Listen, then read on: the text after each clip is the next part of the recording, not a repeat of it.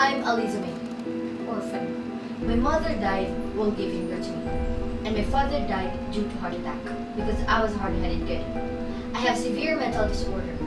I was born with schizophrenia and OCD. The causes of this have not been identified yet, and the only thing that comforts me at night are the voices, voices inside my head.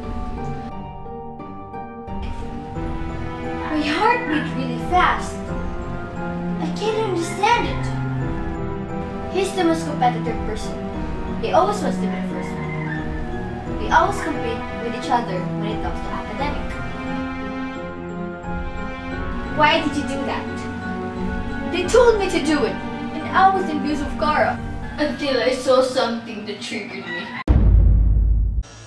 But I love you.